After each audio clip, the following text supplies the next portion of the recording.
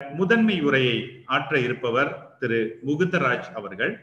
திரு முகுந்தராஜ் அவர்களை பற்றி நிறைய சொல்ல வேண்டும் என்றால் அவர் அவர் முன்னின்று நண்பர்களுடன் உருவாக்கிய தமிழா என்ற ஒரு மென்பொருளே போதும் என்று நினைக்கின்றேன். தனிப்பட்ட முறையிலே கணினியை இயக்கக்கூடிய பெரும்பாலானோர் இன்று அதனை பயன்படுத்துகின்றார்கள். வணிக ரீதியாக மிக சிறந்த மென்பொருள்கள் உருவாக்கப்பட்டு கொண்டிருந்தாலும் கூட ஒரு தனிப்பட்ட ஒரு மாணவரோ அல்லது வீட்டில் தட்டச்சு செய்ய வேண்டியவரோ அல்லது இணையத்தில் ஏதாவது தேட வேண்டும் என்ற அடிப்படையிலே பயன்படுத்துகின்றவர்கள் இந்த இ கலப்பை தமிழாவை பயன்படுத்தி கொண்டிருக்கின்றார்கள். மென்பொருள் மேம்பாட்டாளர் திரு முகுந்தராஜ் அவர்கள் மலேசியாவிலே பல காலம் தங்கி இங்கு பணியாற்றி தமிழுக்கான பல பணிகளை தொடர்ந்து செய்து வந்தவர். இப்பொழுது ஆஸ்திரேலியாவில் இருந்து பல பணிகளை செய்து வருகின்றார். அவர் எங்களுக்கெல்லாம் ஒரு வழிகாட்டி என்று கூட நாங்கள் தாராளமாக சொல்லலாம். ஆஸ்திரேலியாவில் போயிட்டும் அவர் அமைதியா இல்லை. அங்க போயிட்டு என்ன பண்ணார்னா தாய் தமிழ் பள்ளிகள் என்று நண்பர்களுடன் சேர்ந்து உருவாக்கி அதை மிகவும் சிறப்பாக நடத்தி கொண்டு வருகின்றார். எனவே இந்த அருவினை என உளவோ காலத்தால் கருவியால் கருதி செய்யும் என்று சொல்வார்கள். அந்த வகையிலே நண்பர் முகுந்தராஜ் நான் நண்பர் செலியன் இன்னும் சீனிவாசன் அருண் போன்றவர்கள் அனைவரையுமே மென்பொருள் துறையில் நாங்கள் இருந்தாலும் கூட எங்கள் அனைவரையும் இணைப்பது தமிழாக இருக்கின்றது. எனவே அந்த வகையிலே தன்னுடைய முதன்மை உரையை ஆற்றுவதற்கு அனைவரும் நன்கு அறிந்த நண்பர் திரு முகுந்தராஜ் அவர்களை அன்புடன் அழைத்து விடைபெறுகின்றேன். நன்றி வணக்கம். அனைவருக்கும் வணக்கம்.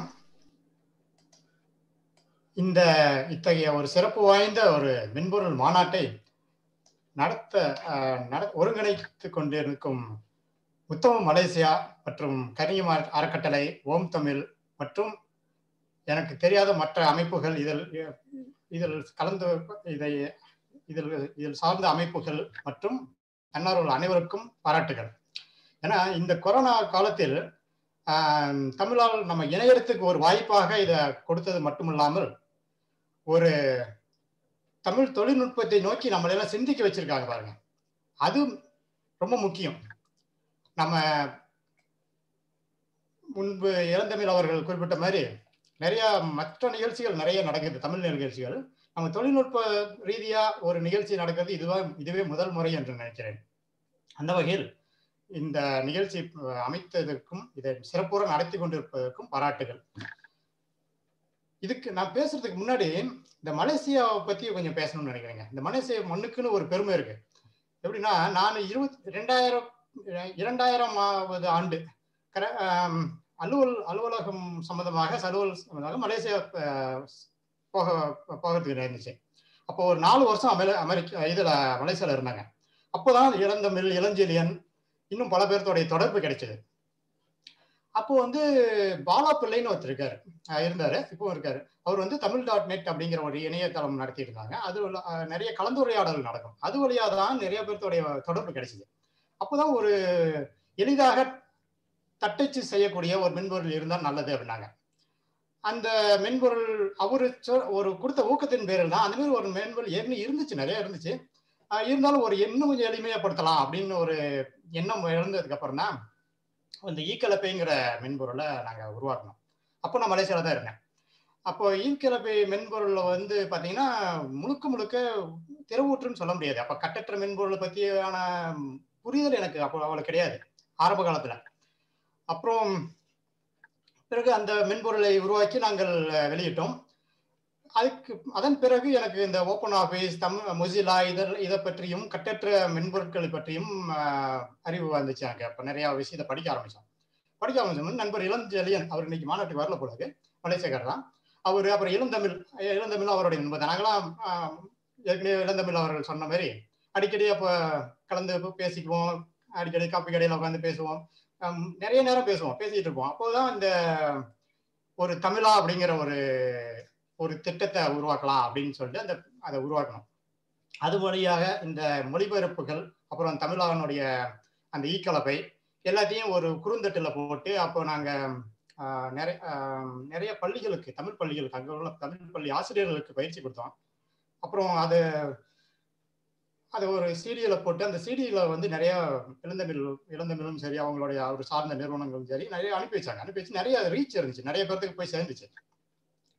அதே சமயம் இந்த மலேசியாவுக்கு மலேசியாவில் நான் வரதுக்கு முன்னாடியே நிறைய நிறைய பேர் தமிழுக்கு பண்ணிட்டு இருந்தாங்க முத்துநடு மாறன் முரசு மெஞ்சல் பண்ணிட்டு இருந்தாரு அப்புறம் நளினம் மென்பொருளை வந்து சிவகுருநாதன் ஒருத்தர் பண்ணிட்டு இருந்தாரு அப்புறம் அதை தவிர நிறைய எழுத்து எழுத்துலையும் பார்த்தீங்கன்னா இந்த மறைந்த ம மருத்துவர் ஜெயபாரதி ஐயா அவர்களையும் குறிப்பிடணும் அவரும் நிறையா ஒரு ஒரு மின்னஞ்சல் குழு வச்சு நிறைய பேர்த்த ஒருங்கிணைச்சிருந்தார். அதெல்லாம் மென்பொருளுக்கு நேரடியாக தொடர்பு இல்லைனாலும் மக்களை இணைக்கிறதுக்கு ஒரு நல்ல ஒரு வாய்ப்பாக இருந்துச்சு. அது மூலமாக தான் எனக்கு வளர்ச்சி தொடர்புகள் கிடைச்சி. அப்போ கூட நளினம் மென்பொருளுடைய சிவகுருநாதன் அப்போ வந்து இங்கே வெளிநாட்டில் இருந்துட்டு அப்போ வந்து இந்த அப்போ அவரோட நான் கொஞ்ச நேரம் பேசிட்டு இருக்க தோணுச்சு. அப்போதான் அவர் கேட்டார் இந்த இதெல்லாம் எப்போ அந்த ஈக்கலப்பெல்லாம் எப்போ செய்ய ஆரம்பிச்சிங்க அப்படின்னு சொன்னேன். மலேசியா வந்ததுக்கு அப்புறம் தான் இதை ஆரம்பிச்சேன்னு சொன்னார் அவர் விளையாட்ட சொன்னார். மலேசியா வந்துட்டீங்களா? உங்களுக்கு தமிழ் பித்து பிடிச்சிரும் அப்படின்னாரு. அது மாதிரி தான் கிட்டத்தட்ட மலேசியாவில் வந்து தமிழுக்கு நிறைய முன்னோடிகள் எல்லாம். முன்னோடிகள் இருந்த இடம் அது. இன்னமும் பார்த்தீங்கன்னா இந்த மாநாடு கூட பாருங்க. மலேசியால இருந்து ஒருத்தங்க ஆரம் செய்யணும்னு தோணுது பாருங்க. அதனால மலேசியா மண்ணுக்குன்னு ஒரு பெருமை இருக்குன்னு நினைக்கிறேன். தமிழ் விஷயத்துல தமிழ் தமிழ் மென்பொருள் இருக்கட்டும் தமிழ் இலக்கியம் இருக்கட்டும் எல்லாத்துலயுமே குறைந்த எண்ணிக்கையில இருந்தா கூட தமிழர்கள் இருந்தாலும் அவங்க நல்ல உணர்வோடு இருக்கிறாங்க. அந்த வகையில மலேசிய மக்கள் மேல எனக்கு எப்பவுமே ஒரு மதிப்பு உண்டு. மலேசியா என்னுடைய இன்னொரு ஒரு தாய் வீடுன்னு கூட சொல்லலாம். நாலு வருஷம் அங்கே தான் இருந்தேன் நான். இன்னும் தொடர்புகள் இருக்கு அங்க. அதே மாதிரி இந்த கட்டற்ற மென்பொருள் திட்டத்துக்கு வருவோம். கட்டற்ற மென்பொருள் திட்டம் எல்லாருமே நம்ம நிறைய நிறைய பேர் நினச்சிருக்கோம் இலவச மென்பொருள் நினச்சிருக்கிறாங்க. அதே பேர் ஒரு சில பேர் ஒரு சில வைப்பாங்க இது வந்து மென்பொருளுக்கான திட்டம் அப்படிங்கிறாங்க. நான் எப்படி அதை பார்க்குறேன்னு நினைக்கிறேன்னா என்னுடைய சொந்த கருத்து. என்னோட பாக்குறேன்னா இது கட்டற்ற மென்பொருள் திட்டம் சொல்றதோட இது ஒரு கட்டற்ற மென்பொருள் இயக்கம் அப்படிதான் சொல்லணும்னு நினைக்கிறேன். ஏன்னா இப்போ ஒரு இந்த இதனுடைய முக்கியமான நோக்கமே மென்பொருள் உருவாக்குறோமோ இல்லையோ ஆனா இந்த மென்பொருள் உருவாக்குறதுக்கோ அல்லது வேற நல்ல விஷயத்த செய்யறதுக்கோ ஒரு மக்கள் ஒரு கூட்டத்தை அமைக்கிறோம். ஒரு நண்ப நண்பர்களை ஒரு குழுவை உருவாக்குறோம். அதுதான் நம்மளுக்கு முக்கியம் அப்படின்னு நினைக்கிறேன். அந்த அந்த சமூகத்தை கட்டமைச்சிட்டோம்னா அதுக்கப்புறம் நிறைய விஷயம் பண்ண முடியும். மென்பொருளாக இருக்கட்டும் கட்டற்ற மென்பொருள் மட்டும் இல்லை கட்டற்ற தரவு தரவுகளும் வேணும். கட்ட ஏன்னா டேட்டா வேணும் நம்மளுக்கு. அதே மாதிரி கட்டற்ற ஆவணங்கள் வேணும். அதே மாதிரி தரங்கள். இப்போ ஸ்டாண்டர்ட்ஸ் சொல்லுவாங்களே ஸ்டாண்டர்ட்ஸ் அந்த ஸ்டாண்டர்ட்ஸும் கட்டற்ற தர தரங்களும் நம்ம உருவாக்கணும் தமிழுக்கு. இந்த இதெல்லாம் நம்ம வந்து ஒரு ஒரு ஒரு சமூகம் உருவாகி வச்சிருந்தா தான் ஒரு சமூகம் நிறைய பேர் இப்போ பாருங்க இந்த இந்த மாநாட்டை நடத்தத்தையே தன்னார்வலர்கள் எத்தனை பேர் சேர்ந்து பண்ணியிருக்காங்க பாருங்க. எனக்கு ஒரு வாரத்துக்கு முன்னாடி தான் இந்த மாநாட்டை பற்றி விவரங்களை சொல்ல சொன்னாங்க. அதுக்கப்புறம் தான் இந்த இதுக்குள்ள வந்து இந்த பேச்சை பேச்சு பற்றிலாம் சொன்னாங்க. இது இதெல்லாம் இது பண்ணோம். அப்போ நான் அந்த அந்த குழு குழுவில் இருக்கிற நான் இருந்து பார்க்குறேன் அந்த தன்னார்வலர்கள் இரவு பகலாக வேலை செஞ்சுட்டு இருக்காங்க அதனால இந்த ஒரு சமூகத்தை நம்ம உருவாக்கிட்டோம்னா அடுத்த அடுத்த கட்டத்துக்கு கொண்டு வரலாம். மென்பொருளாக இருக்கட்டும் தரவுகளாக இருக்கட்டும் ஆவணங்களாகட்டும் எல்லாத்தையும் பண்ணணும். இந்த விஷயத்துல பார்த்தீங்கன்னா நம்ம கல்யாண ஐயா இருக்காங்க. அவங்க மதுரை திட்டம்னு முன்னோடி எப்போ எப்போ ஆரம்பிச்சாங்க? அது ஒரு நல்ல அருமையான ஒரு ஆவண திட்டம் கட்டற்ற ஆவண திட்டம். அதே மாதிரி தமிழ் விக்கிபீடியா அது ஒரு கட்டற்ற ஆவண திட்டம். அதே மாதிரி இப்போ கனிய மரக்கட்டளை இருக்காங்க பாருங்க. அவங்களும் சீனிவாசன் நடத்திருக்காரு. அவர் மென்பொருள் மட்டும் இல்லை மென்பொருள் மென்பொருளும் நிறைய பண்றாரு. அதே சமயம் ஆவணங்களும் நிறைய புத்தகங்களும் நிறைய வெளியிடுறாங்க. கட்டற்ற புத்தகங்களா. அது மாதிரி நம்ம தமிழ் சமுதாயம் வந்து இந்த மாதிரி நிறைய கட்டற்ற மென்பொருள் திட்ட மென்பொருள் சார்ந்த ஒரு சமூகங்களை நம்ம உருவாக்க வேண்டிய டைம் நம்மளுக்கு இருக்குது. அது அந்த வகையில தான் தமிழா திட்டமும் உருவாக்கி ஓரளவுக்கு செயல்பட்டுச்சு கொஞ்சம் அண்மை காலத்துல கொஞ்சம் ஒரு தொய்வு நிலை இருக்குது. ஏன்னா மென் இது எல்லா கட்டற்ற மென்பொருள் திட்டத்திலையும் கட்டற்ற இயக்கங்களையும் நடக்குகிறது தான். அப்பப்போ தன்னார்வலர்கள் முனைப்பாக இருக்கும்போது திட்டம் செயல்படும் வேகமாக போகும். அப்புறம் மென்பொருள்கள் அந்த தன்னார்வலர்கள் கொஞ்சம் வெவ்வேறு வேலைகள்ல இருக்கும்போது கொஞ்சம் தொய்வடையவும் வாய்ப்பு இருக்கு. மீண்டும் அதை கொண்டு வர நம்ம கொண்டு வரணும். முனைப்பாக முனைப்பாக்கணும்.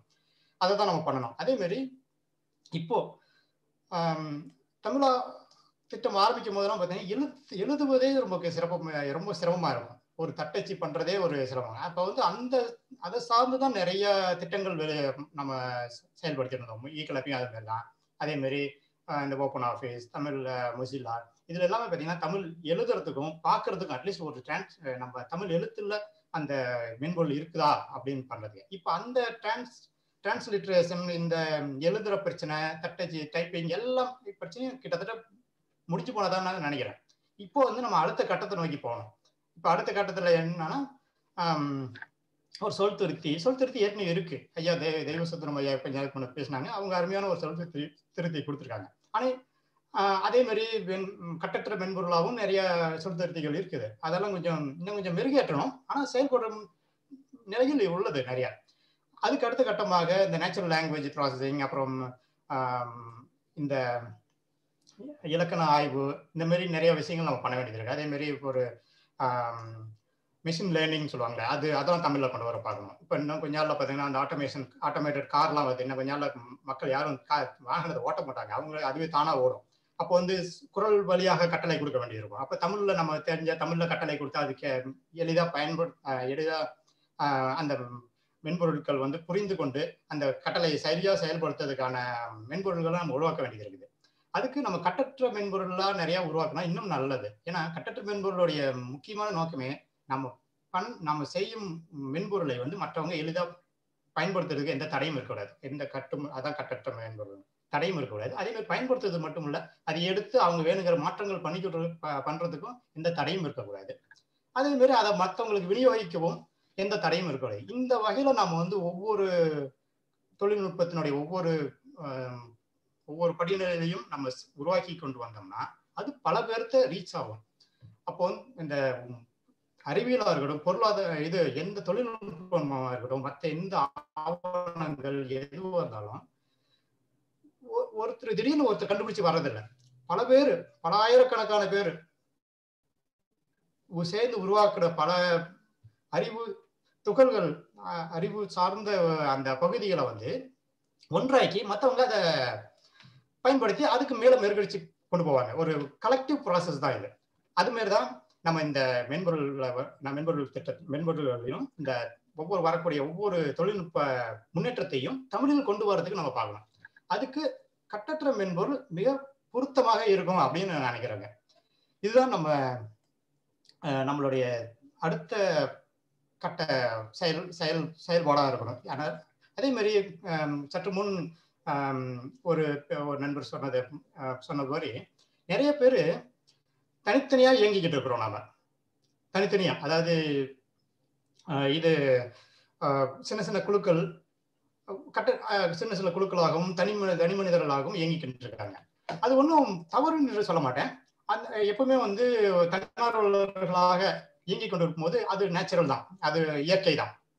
ஆனா அதையும் தாண்டி நாம் ஒருங்கிணைந்து சில வேலைகளை செய்ய வேண்டியது இருக்கும் அது அந்த அதை நோக்கி இந்த கட்டற்ற மென்பொருள் இயங்குவ மென்பொருள் துறையில் இயங்குபவர்கள் சிந்திக்க வேண்டும் அப்படின்னு நான் நினைக்கிறேன்.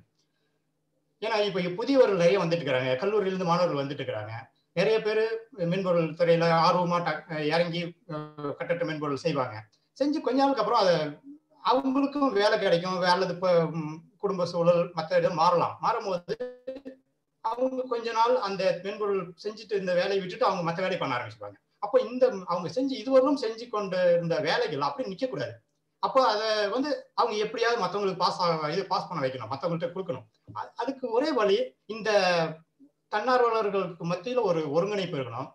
அதே மாதிரி அவங்க சில சில சில தனித்தனி இயக்கங்களாக தனித்தனி குழுக்களாக இருந்தாலும் அவங்களுக்குள்ளேயும் ஒரு ஒருங்கிணைப்பு இருக்கணும்.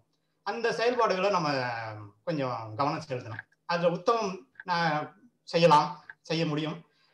ஏன்னா அது பன்னாட்டு நிறுவனம். அவங்க அவங்களும் செய்யலாம். அதே மாதிரி மற்ற தமிழகம் மாரி ஒரு சில அமைப்புகளும் செய்யலாம்.